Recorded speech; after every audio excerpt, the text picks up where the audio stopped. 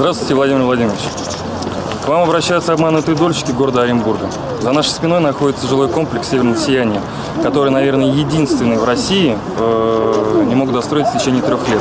Свои новенькие квартиры оренбуржцы должны были получить еще в начале 2014-го. Кто-то вложил в них свои сбережения, кто-то взял в долг, кто-то ипотеку. В итоге теперь люди вынуждены платить еще и за съемное жилье. Ведь ключи от новых квартир застройщик им все еще не вручил. Стоимость квадратного метра начиналась от 32 тысяч за квадрат. Это в 2012 году.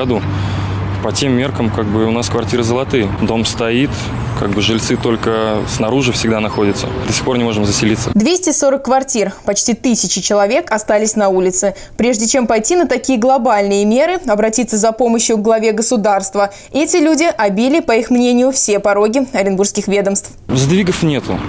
Нам обещают, обещают, нам говорят, что сейчас еще немножко, там 2-3 месяца и дом сдастся. Ну, очень много отписок.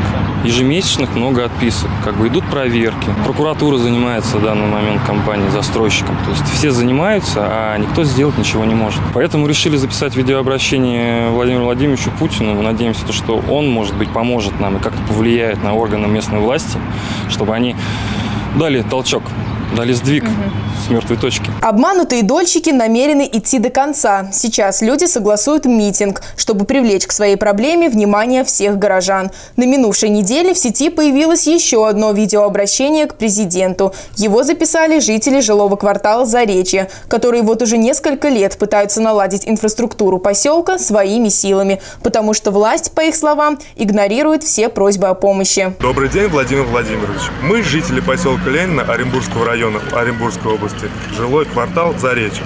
Нас более двух тысяч. Хотим обратиться к вам с просьбой. Мы столкнулись с бездействием власти. Наша главная беда – это отсутствие дорог в поселке. При любой непогоде невозможно добраться до города. А отсюда проблемы с работой, школой, детским садом и прочим.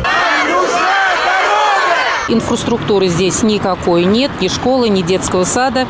Детей возят в город. Ленинский сельсовет нас э, как бы ничем не обеспечивает. Школа там переполнена, детский сад тоже, очередь больше ста детей в детский сад. Центральные дороги тоже не сделаны. Бездорожье ужасное просто.